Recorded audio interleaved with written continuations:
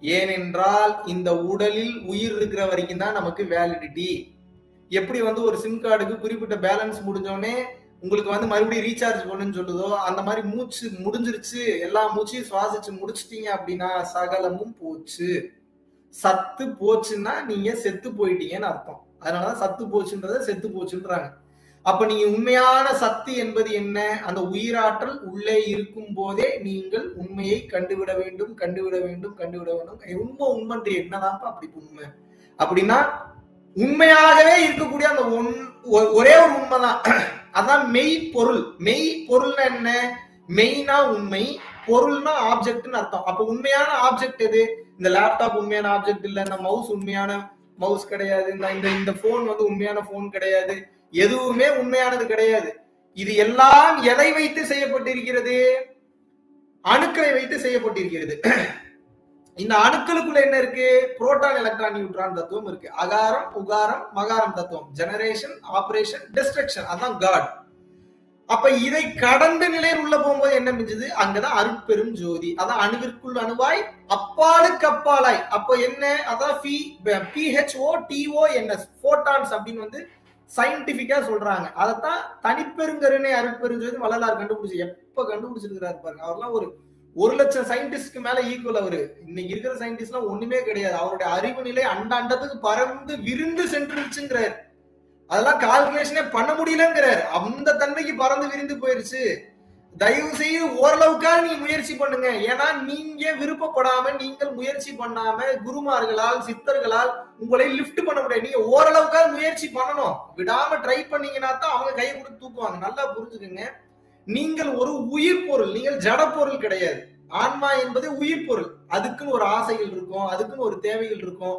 அப்ப அந்த உயிர் பொருள் வந்து எதை வேண்டுமானாலும் அச்சீவ் பண்றதுக்கு அதுக்கு விருப்பம் உண்டு. இப்ப இந்த நான் ஒரு உயிரா இருக்கிறேன் அப்படின்னா ஒரு சினிமா எடுக்கணும்னு நினைச்சா சினிமா எடுக்கலாம். இந்த ஜென்மத்துல இல்லைனாலும் பார்த்து ஒண்ணு அடுத்தடுத்த ஜென்மத்துல எடுக்க முடியும். ஒரு எக்ஸாம்பிளுக்கு சொல்றேன். நான் பிரதமர் ஆகணும்னாலும் ஆகலாம். ஏன்னா இந்த உலகம் படைக்கப்பட்டதே அப்படிதான். நீ எதைக்காக விரும்புகிறாயோ நீ அதாகவே மாறி விடுகிறாய் அதாகவே நீ நிச்சயமாக ஆவாயின்றாங்க. அப்ப என்ன? நீங்கள் எதற்கு விருப்பப்படுகிறீர்களோ அதற்காக உங்களது மனம் பிராணன் புத்தி வாக்கு அனைத்தும் செயல்படுது. அப்ப விருப்பம்ன்றத வச்சுதான் இந்த பிறப்பு நிகழுது. இந்த பிறப்பு நிகழ்ந்ததுக்கு அப்புறம் அந்த விருப்பத்தை வைத்துதான் உங்களது ஒவ்வொரு செயல்களும் நிகழ்கிறது. அப்ப இந்த பிறவி எனும் பெரும் சுழற்சியிலிருந்து நீங்க தப்பிக்கணும்னா இறைவனின் மீது நீங்கள் தீரா காதல் கொள்ள வேண்டும் தீரா பற்றுக்கொள்ள வேண்டும். உண்மையான கல்யாணம் என்பது என்னவென்று நீங்கள் கேட்டீர்கள் என்றால் நன்றாக புரிந்து கொள்ளுங்கள். திருக்கல்யாணம் நீங்கள் இறைவனை செய்ய வேண்டும். புருஷன் பொண்டாட்டியோ பொண்டாட்டி புருஷனோ பண்றது கல்யாணம் கிடையாது. இது எல்லாமே வந்து பாத்தீங்கன்னா முன்மாதிரி ஃபார்முலா ஒரு ப்ளூ பிரிண்ட் மாதிரி. இப்ப நீங்க அனுபவிக்கக்கூடிய சந்தோஷம்லாம் சிற்றின்பம் ஏன் சொல்றாங்க? இதுவே இப்படி இருக்குன்னா பேரின்பம் கிடைச்சா எப்படி இருக்கும்? கார் வாங்கணும்னு ஆசைப்படுறீங்க. சந்தோஷம் ரெகுலரா நிலைக்கிறது இல்ல. ரெண்டு மூணு மாசத்துல போயிருது. வீடு கட்டினாலும் ஆசை. கொ- கொஞ்ச நாளைக்கு ஆசைக்கு வீட்டுல இருக்கீங்க. அதுக்கப்புறம் அது மேல இருக்கக்கூடிய சந்தோஷமும் போயிருது.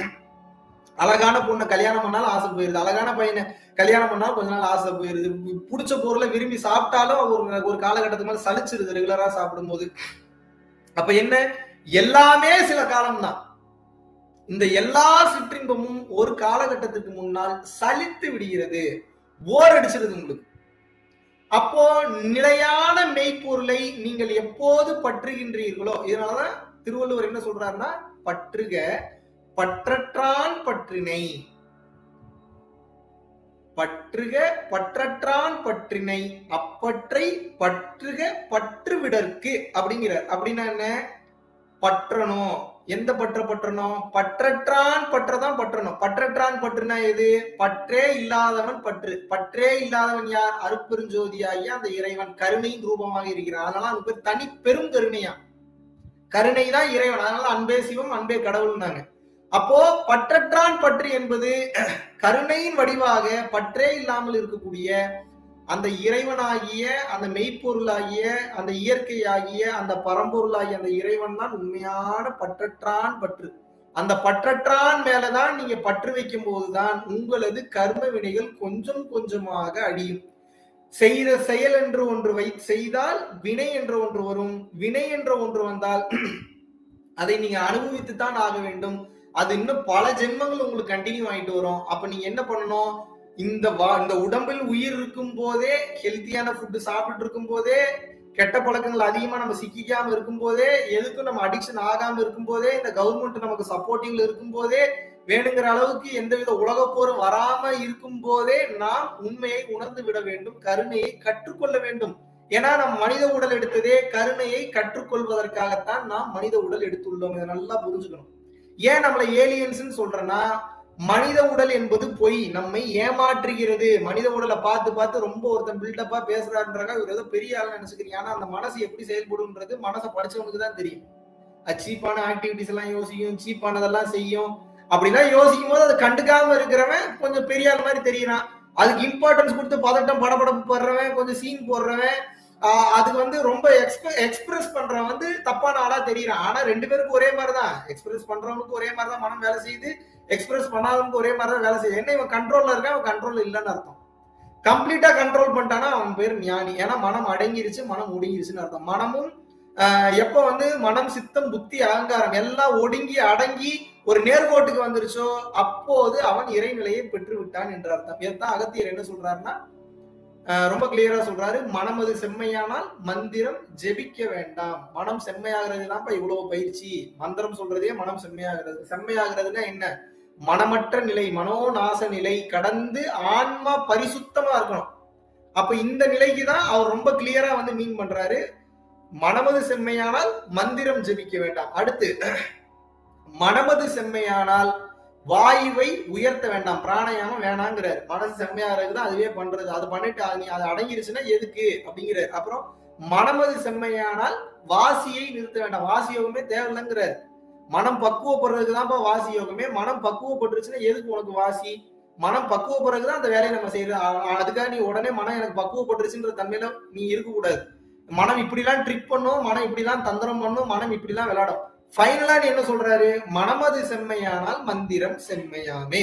மனம் செம்மையாகிறதுக்கு தான்ப்பா இவ்வளவு வேலை செய்யறோம் மனம் வந்து செம்மையாகிறதுக்கு தான்ப்பா எல்லாத்தையும் கடந்த நிலையில நம்ம வந்து பண்ணிட்டு இருக்கோம் இந்த மனம் செம்மையாயிடுச்சுன்னா எல்லாமே உன் வசம் ஆகிவிடும். ஏனென்றால் மனம் பக்குவப்பட்ட ஒருத்தனுக்கு மனமற்ற நிலைக்கு எப்பெல்லாம் போயிட்டு வரானோ அப்பெல்லாம் அவனது எண்ணங்கள் செயலாக மாறும். நினைத்தது நடக்கும். அனைத்தும் சித்தியாகும். இதனாலதான் மேஜிக் சூப்பர் பவர் சித்தி முத்தி அப்படிலாம் சொல்றாங்க. இதெல்லாம் ஒன்றும் பெரிய விஷயமே இல்லை. மனம் ஒரு மந்திரச்சாவி. அந்த மனசு எப்படி செயல்படுதுன்ற அந்த பக்குவத்தையும் தத்துவத்தையும் நாம் புரிந்து உணர்ந்து கொண்டோம் என்றால் அனைத்தும் கண்ட்ரோலுக்கு வந்துடும். இதை இது எப்படி கொண்டு வரலாம்? தவம் தான தர்மம் அது போக சரணாகதி நிலை இதை கடந்த நிலையில கருணையோடு நீங்க வாழக்கூடிய வாழ்க்கை. இதை ரெகுலரா நீங்க பிராக்டிஸ் பண்ணிட்டு வரும்போது கொஞ்சம் கொஞ்சமாக உங்கள் மனம் பக்குவம் அடையும். போன